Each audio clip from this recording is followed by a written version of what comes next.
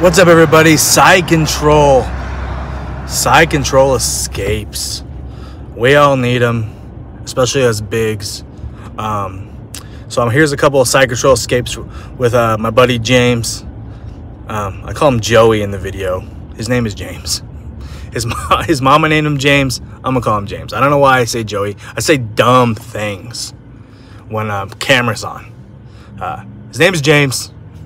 Sorry, James check out these side control escapes.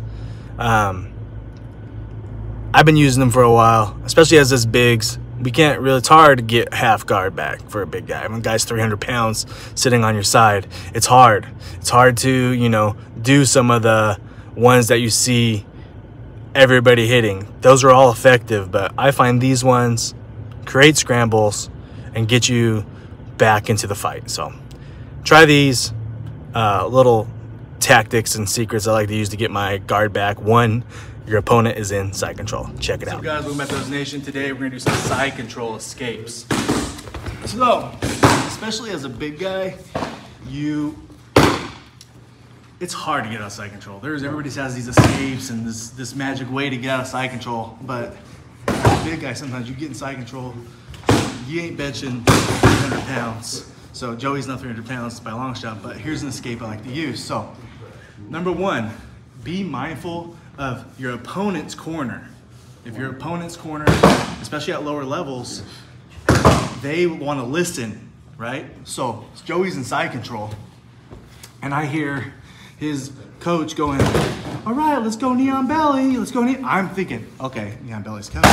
So when the knee on belly comes, I'm scooping under his leg and I'm punching him in the chest. It's